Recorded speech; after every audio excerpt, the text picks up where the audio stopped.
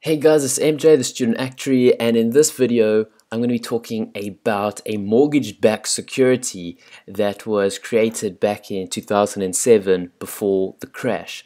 Interesting thing to note is that this is for some really big money. I mean, look how big these chunks are. And we see that they're rated AAA by Moody and all of these guys. You know, this is what caused the financial recession. These things had AAA um, graded like rating and yet they all blew up. I mean, if we even just look here, we go to Moody's website. I was looking at it over here. This is 23rd of September, so this is recently. They've downgraded this blue granite investment number four to I think it's like a class C. Uh, you know, they've really downgraded it to you know these like B status. It's they've basically realized that the key assumptions they made was all wrong and that these guys basically stuffed up. So hold on, where we here we go back to the little the actual document. So I went through this document. It was interesting because this was something that got AAA status. It is one of those things that caused the world recession, mortgage-backed securities. Um, I went through the document. These are the various tranches that you have. Um, issued by Standard Bank, who's the arranger and dealer. And look, you, you have to have like a little legal team because this was a monster of a document. So they create what they do is that so it's issued by Standard Bank, but they create a separate company called Blue Granite. So if this whole thing tanks, Standard Bank is protected. They create special purpose vehicles to be bankrupt remote. Now, as you can see, there's quite a it's quite a heavy document. I mean, uh, this is this is them trying to explain it in a little diagram. You can see very complicated how everything goes around essentially what they're doing is they're taking home loans, they're chopping up the home loans, they're and they're splitting it through some financial engineering to make new securities. Um, if you want like a better or more detailed explanation of that, I did write that little textbook uh, that goes through it quite you know thoroughly and explains everything. This is just interesting to see. Look at all the different program, uh, sorry, all the different parties that are needed in this deal. I mean, quite a lot of parties. This is what I love. Look at all the various documents they need. Uh, program memorandum, the trust deed, trust deed of this, memorandum of articles, blah, blah, blah, blah, blah, blah, blah. You can see it goes on. There's like 34 documents for this thing. I mean, derivative contracts, custodian agreements. I mean, this is the boring, boring side of finance is doing all this paperwork. Uh, and they talk about the issuers, this is interesting. So you see, they they're like, oh, we've got these auditors. I'll show you the audit report at the end. It's quite a joke.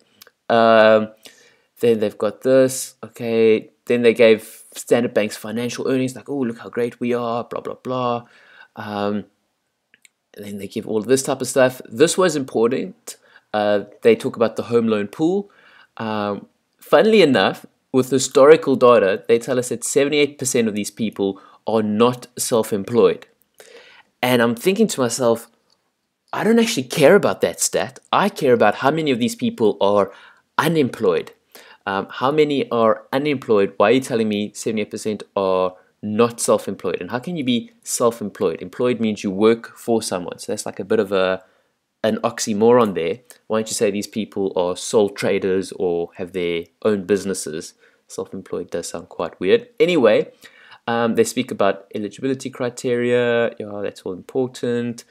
Blah blah blah blah. They give all of this boring, boring documents here. They talk about their cash management. Yeah, that was also quite boring. Da da da da da. Um, this was interesting, like the size of the loans. You can check how big. I mean, this is not for your average everyday investor. This is for institutional investors who've got access to pension funds to purchase these these things. Uh, that was also boring, boring. Revolving period, guaranteed home loans. Oh, what I thought was quite great. Um, I didn't know where, where we, we saw it, but Standard Bank. They say they set up their own their own people valued the houses, and they get to set the the interest rate. So they're controlling quite a lot of uh, components in this deal. They can say, "Oh no, this house is actually worth 10 million.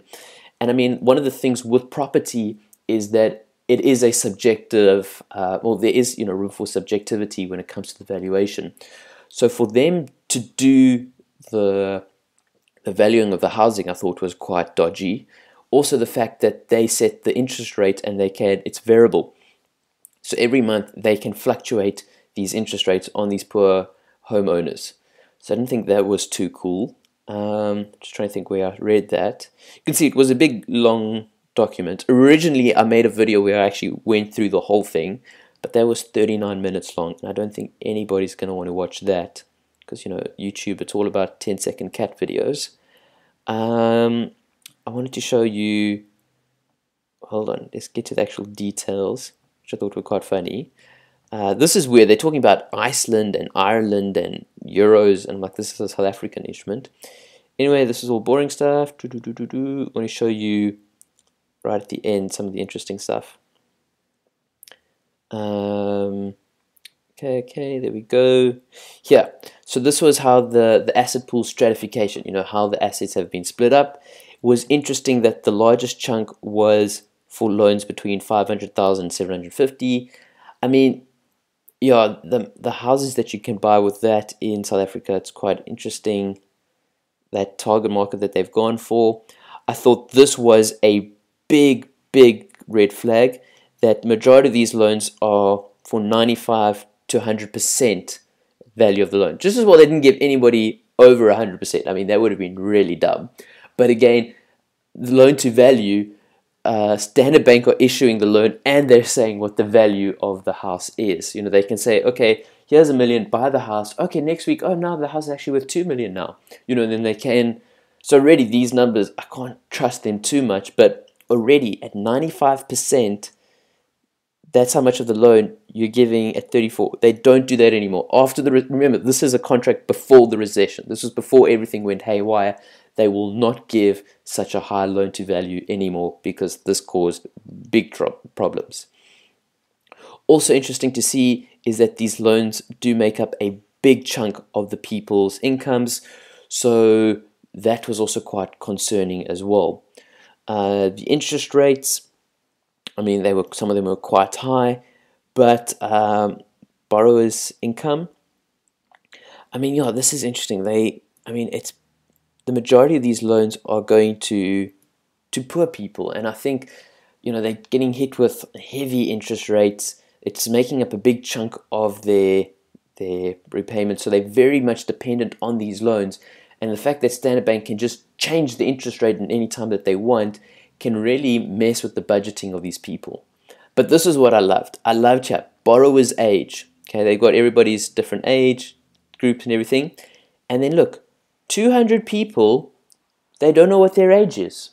200 they gave they gave loans worth 100 almost 100 what know 150 million dollar uh, sorry rand 150 million rand to people whose age they don't even know which means these people didn't even show an ID document because on your ID document you can use the first six uh, digits to work out somebody's age. So, what on earth were they doing? Like, unspecified. How can you not know your borrower's age? How can you give them a whole credit score and do all these eligibility criteria and this whole underwriting process that they speak about in their document. And then for 200 people, they don't even know how old the person is. That I thought was crazy. Okay, but it gets even worse. Uh, the geographical distribution, most of it is in Gauteng. Then another little big chunk is in the Western Cape, best best province in the world. Love the Western Cape. But yeah, I love this. So now, what are people using the loans for? So most of them are using it as their main residence. But 105 of them, they don't know. They don't know what the people are going to use the money for. Unspecified. What what does that mean?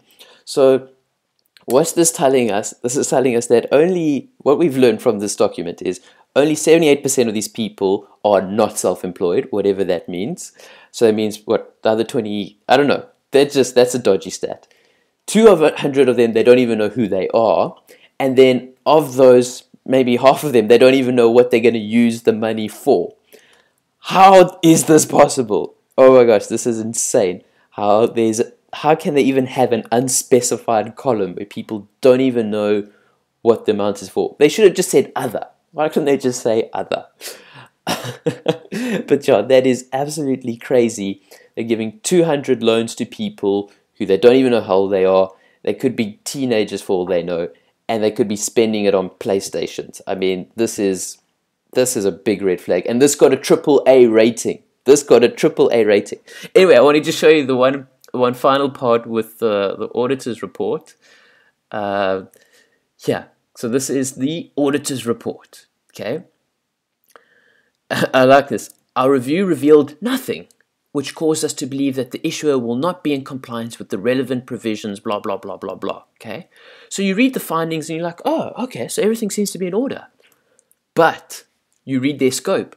Our review was generally limited, limited to an examination of just the program memorandum and the transaction supplement. Okay? It should be recognized listen to this, it should be recognized that our review did not constitute an audit and may not necessarily have revealed all material facts.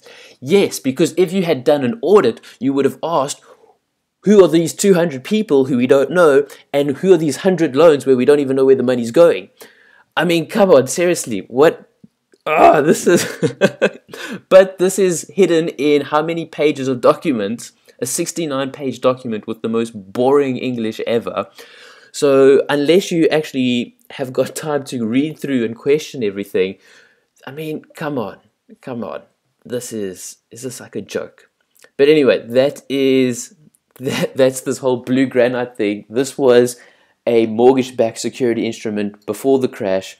And I mean, just reading that document, you have to ask yourself questions. How did this get triple A rating to begin with? And why is Moody only downgrading it now? I mean, finance, sometimes you study the subject and it raises up way more questions than answers. Anyway, let me know what you guys thought of this video and thanks so much for watching. Cheers.